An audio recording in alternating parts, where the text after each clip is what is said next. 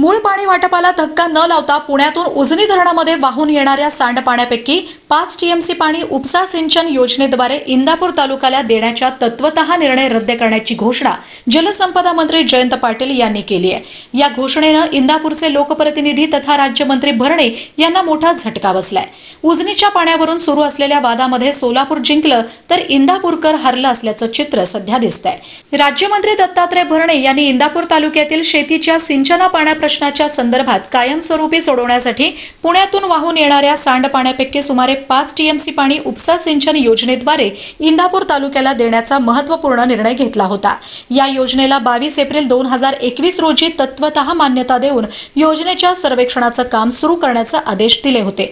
मात्र या निर्णयाला सोलापूर जिल्ह्यातील शेतकरी आणि सर्वपक्षीय आमदार आणि पुढाऱ्यांनी तीव्र विरोध करून राज्यमंत्री दत्तात्रय भरणे यांच्या विरोधामध्ये आंदोलन करून निर्णय रद्द करण्याची मागणी केली होती. आज मंत्रालयामध्ये झालेल्या बैठकीत जलसंपदा मंत्री जयंत पाटील यांनी उजनी जलाशयातील सोलापूर जिल्ह्याच्या वाट्याच्या पाण्याच्या एकाही थेंबाला धक्का लागणार नसल्याचं सांगून बावीस एप्रिलचा आदेश रद्द करण्याची सूचना दिली असल्याचं सांगितलं.